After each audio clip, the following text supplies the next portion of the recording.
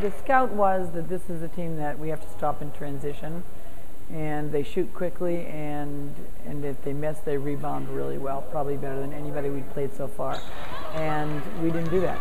So I mean that I, I think it was near 50 points in a combination of offensive boards and transition shots. So you know anything else we did, shots falling or not, you're not going to win or even do well if you can't take care of those two two items.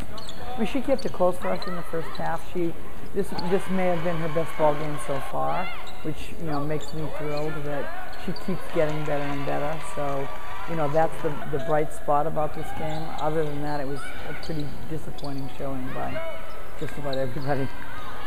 Well, you know, you can't dwell on this game. It was disappointing for everybody.